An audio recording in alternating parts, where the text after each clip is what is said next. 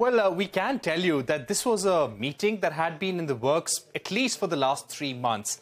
Uh, one month back, CNBC TV 18 had also reported how a Tesla team uh, of senior representatives who worked closely with Elon Musk had been in India and they held discussions with uh, officials from the Ministry of Heavy Industries, from the Ministry of Road Transport, the Prime Minister's office as well. And all of this was to discuss plans to source more for, from India and possibly consider India as one of the locations for Tesla's next gigafactory. Uh, what uh, government officials communicated to India uh, is that uh, Tesla is not immediately looking to set up a manufacturing plant in India or uh, move supply chains here. But yes, they're definitely seriously considering India as a possible location for manufacturing. Even in this meeting, Elon Musk did not commit anything, but he said definitely they would look at India as an investment venue. They would also like to bring uh, Starlink internet to India. Prime Minister Modi spoke to him about electric mobility and also commercial space exploration. So, a lot of avenues there for uh, Elon Musk to invest. But we can tell you that even two to three days before the Prime Minister's visit to the United States, there were talks happening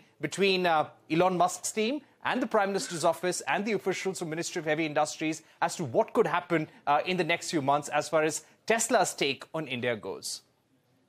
All right. Thanks so much.